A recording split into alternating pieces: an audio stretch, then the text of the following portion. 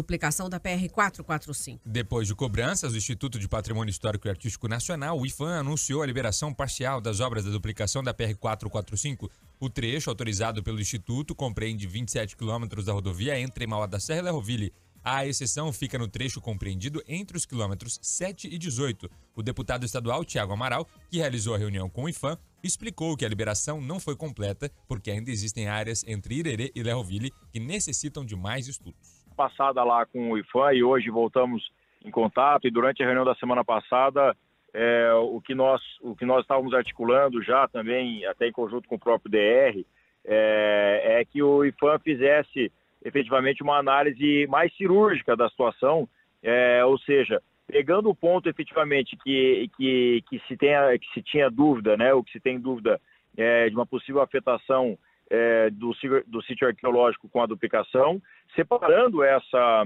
é, esse trecho dos demais e fazendo a liberação dos demais trechos para início da execução da obra. A gente sabe que não é uma obra que vai ser executada do dia para a noite, é, então ela, ela leva um tempo, então até que até que se possa fazer novos estudos para poder apresentar é, é, justamente a, a, o caminho e a destinação que será feito com, com, com eventuais achados é, para a cultura brasileira e também aqui do nosso estado, né, da arqueologia, então que isso pudesse ser separado, dada a destinação mais adequada.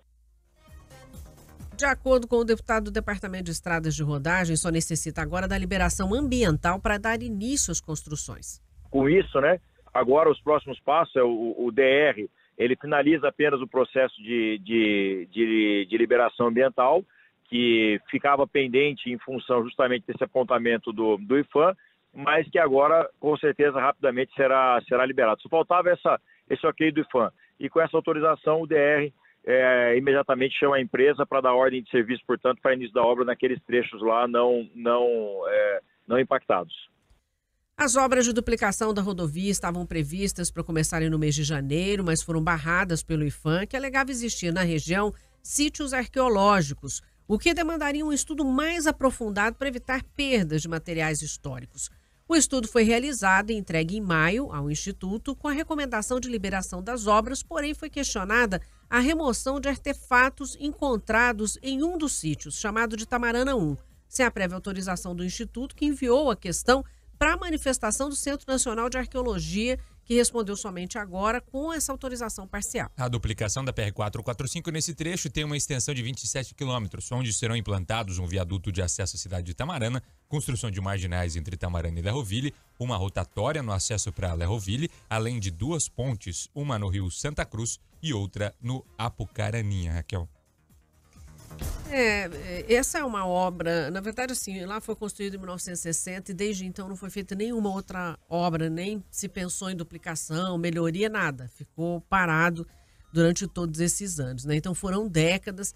Essa é uma obra super importante, né? Muito esperada, não só ali para Mauá e Tamarana, mas para todo o desenvolvimento aqui do norte do Paraná, porque além de tudo ela vai fazer uma duplicação, ela vai garantir a duplicação de Londrina até Curitiba, que, imagina, a segunda a, a cidade, a maior cidade do estado do Paraná, e que não tinha essa, essa pista duplicada inteira até Curitiba, e com isso vai ter também até Paranaguá. Isso para Londrina é bastante importante, mas não se não combinou com os russos, né? Tinha, tinha essa questão do sítio arqueológico, e claro que eles tomam muito cuidado com isso, porque não pode perder material, tem que ver que material é esse que está lá. É, quando surgiu essa questão de, ah, vamos liberar, mas fica entre o 7 e o 13, né? 7 e 18, entre o quilômetro 7 e 18, eu falei, mas como assim, né? Vai começar a obra e depois, se eles não liberarem? Não, diz que vão liberar, que nesse período eles vão, acho que, retirar tudo que tem ali para fazer essa pesquisa, né? Garantir a preservação. Se precisar fazer alguma alteração, vão, vão promover, mas diz que vão liberar, que é só uma questão realmente de reunir mais material, porque é óbvio, quando você ouve isso, você fala assim, mas espera aí, vai construir e depois se precisar parar no meio, né? Porque só são 27 quilômetros, é um trecho já muito curto, né? Então, e nessa previsão ali tem um viaduto em Tamarana para dar acesso, uma rótula de acesso a Lerroville, tem pontes para Santa Cruz e também para os rios, né? Santa Cruz e Apucaraninha. É, vai fazer correção naquelas curvas que provocam imensos acidentes ali, acidentes muito graves, que esse é um problema também é, de uma reclamação constante, talvez até a maior reclamação e a mais evidente para a população em geral, né? É, vão fazer essas correções e claro que isso vai impactar no desenvolvimento não só de Tamarana, Mauá da Serra, Lerra Alvire, vai trazer segurança ali para os agricultores, ali tem muito agricultor é, familiar, né, é, de agricultura familiar. E tem grandes também, mas é, ajudaria para todo mundo. Agora tem essa questão, eles ainda não decidiram de que lado eles vão começar, se de uma ponta ou de outra para fazer esses 27 quilômetros. É, mas o certo é que eles estão contando aí que nesses a obra está prevista em 18 meses, um investimento de 148 milhões, né, como a gente disse. O contrato já está assinado desde dezembro e ainda falta licença ambiental, como o deputado falou, né? Não está tudo, tudo zerado. Mas eles estão decidindo também de que ponta vão começar. E a obra co co começa e dá tempo deles também fazerem esses levantamentos aí arqueológicos. Sim. É, o estudo precisa ser feito, né? É Sim, evidente, claro. né? Agora, o que se pede é uma aceleração, né? O que se pede é, é que seja feito o mais rápido possível, porque, como você disse, a 445 é uma das rodovias mais perigosas da nossa região. Sim.